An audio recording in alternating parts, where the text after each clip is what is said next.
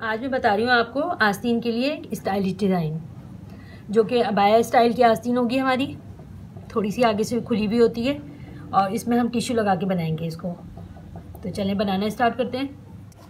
तो ये देखें, सिंपल आस्तीन की जो कटिंग हुई हुई होती है अबाया स्टाइल, वही कटिंग हुई हुई है हमारे पास। तो अब इसके अंदर मुझे यहाँ पे ये टिश्यू भी लगाना होगा बीच में। इसकी डिज़ाइनिंग करनी है। तो यहाँ से देखें मैं चार इंच यहाँ से रखते हुए इसको यहाँ से कटिंग करके निकाल दूँगी। तो मैं इसको इस तरह फोल्ड करती हूँ। और इसको कटिंग करके यहाँ से निकाल दूँगी मैं।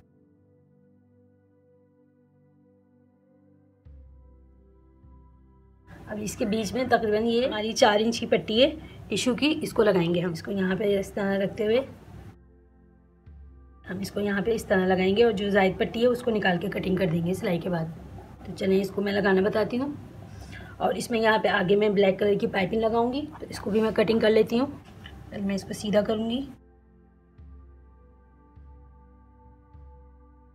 अब तकरीबन डेढ़ इंच पट्टी में इसको कटिंग करके निकालूँगी। ये एक पट्टी में नहीं आएगा, तकरीबन मैं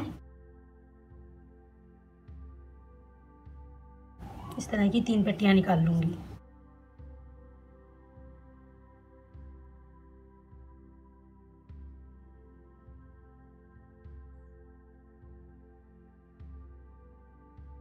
और रेप का जोड़ होगा, हम इस तरह कॉर्नर से कॉर्नर मिला के लगा लेंगे।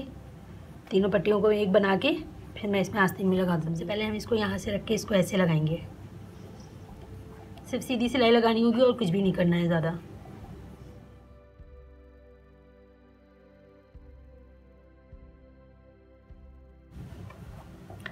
अब देखें यहाँ सेंटर में निशान लगा लें।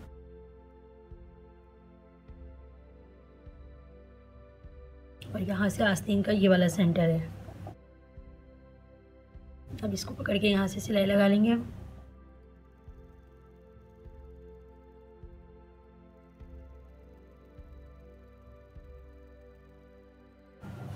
ये देखें हमने सेंटर में टिश्यू डाल के इसमें इस तरह डिज़ाइन बना लिया। अब हम यहाँ पे इसमें एक सिलाई यहाँ पे लगाएँगे किनार पे, ताकि ये कपड़ा पीछे की तरफ़ टर्न हो जाए।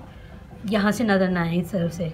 और यहाँ पे इस तरफ़ कपड़ा करके यहाँ पे भी एक किनार की सिलाई लगा देंगे।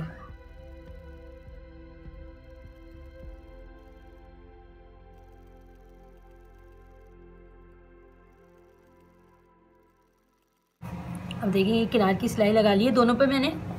अब मैं इसमें पाइपिंग लगाऊँगी तो पाइपिंग मैं उल्टी तरफ़ से रख के लगाऊँगी, इसको ऐसे रखूँगी। ये उल्टी तरफ़ से मैं इसको सीऊँगी और फिर सीधी तरफ़ इसको टर्न कर दूँगी। इसको सिलाई लगाते हैं।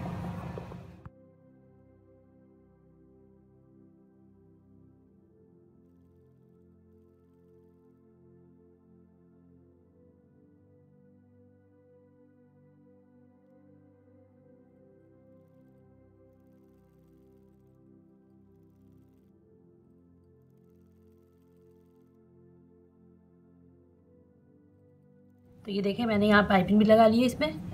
अब मैं इसको साइड से बंद कर दूँगी। यहाँ से तकरीबन इतना रखते हुए मैं इसको बंद कर दूँगी।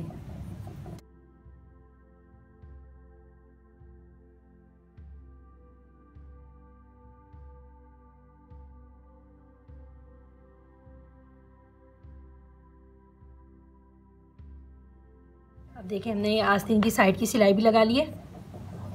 अब इसको सीधा करके देखें।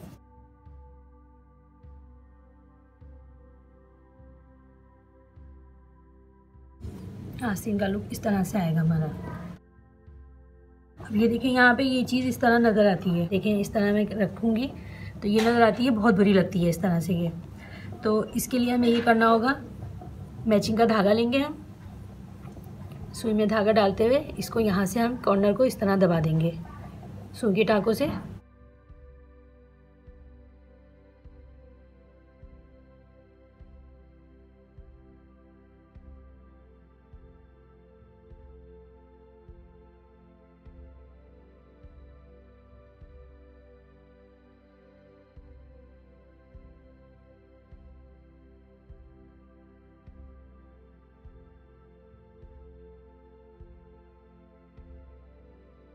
देखिए यहाँ मुझे ये दबा लेने से इसमें कितना नीटपन आ गया है यहाँ।